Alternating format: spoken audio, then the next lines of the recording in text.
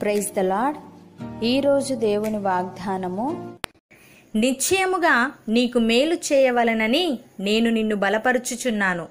ఇర్మియా గ్రంథము పదిహేనవ అధ్యాయము పదకొండవ వచనము. సహోదరి సహోదరులారా తండ్రి తన కుమారుల ఎడల జాలిపడునట్లు యహోవా తన ఎందు భయభక్తులు గలవారి ఎడల జాలిపడును. మనము నిర్మింపబడిన రీతి ఆయనకు తెలిసే ఉన్నది. మనము మంటివారమని ఆయన జ్ఞాపకము చేసుకొనుచున్నాడు.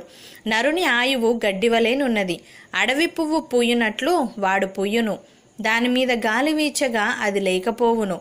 ఆ మీదట దాని చోటు దాని నెరుగదు.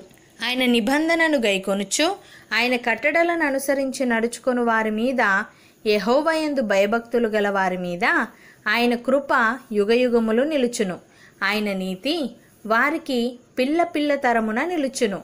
భక్తుడు ఈ విధంగా అంటున్నాడు చెడ్డవారిని చూచి నీవు వ్యసనపడకుము. దుష్కార్యములు చేయువారిని చూచి మత్సరపడకుము. వారు గడ్డి వలనే త్వరగా ఎండిపోవుదురు. పచ్చని కూర వలనే వాడిపోవుదురు. యహోవయందు నమ్మికయుంచి మేలు చేయుము. దేశమందు నివసించి సత్యమును అనుసరించుము అని. ప్రియులారా కృపాసత్యముల వలన దోషమునకు ప్రాయశ్చిత్తము కలుగును. యహోవయందు భయభక్తులు కలిగి ఉండుట వలన మనుష్యులు చెడుతనము నుండి తొలగిపోవుదురు. ఒకని ప్రవర్తన యహోవాకు ప్రీతికరమగునప్పుడు ఆయన వాని శత్రువులను సహా వానికి మిత్రులుగా చేయును. ఇర్మియా ప్రవక్త ఈ విధంగా అంటున్నాడు యహోవా వాక్కు నాకు ప్రత్యక్షమై ఈలాగు సెలవిచ్చెను. గర్భములో నేను నిన్ను రూపింపక మునిపే నిన్నెరిగి తిని నీవు గర్భము నుండి బయలుపడక మునిపే నేను నిన్ను ప్రతిష్ఠించి తిని జనములకు ప్రవక్తగా నిన్ను నియమించి తిని.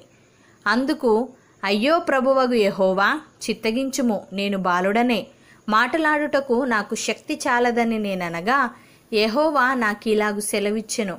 నేను బాలుడననవద్దు. నేను నిన్ను పంపువారందరి యొద్దకు నీవు పోవలెను. నీకాజ్ఞాపించిన సంగతులన్నీ చెప్పవలెను. వారికి భయపడకుము.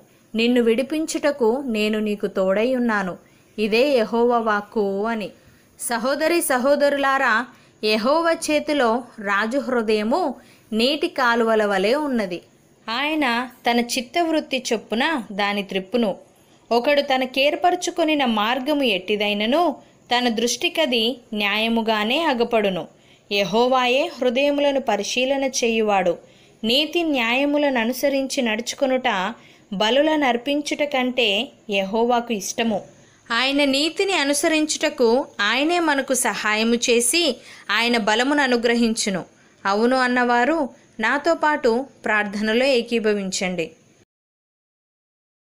పరిశుద్ధుడా ప్రేమగల తండ్రి నీవు మమ్మను గూర్చి ఉద్దేశించిన సంగతులు రాబోవు కాలమందు మాకు నిరీక్షణ కలుగునట్లుగా అవి సమాధానకరమైన ఉద్దేశములే గాని హానికరమైనవి కావు గనుక నీకు స్తోత్రములు. తండ్రి మేము నీ యందు భయభక్తులు కలిగి నీతి కొరకు ఆకలి దప్పులు కలిగి జీవించే వారముగా ఉండుటకు సహాయము దయచేయమని యేసుక్రీస్తు నామంన ప్రార్థిస్తున్నాము తండ్రి. ఆమెన్.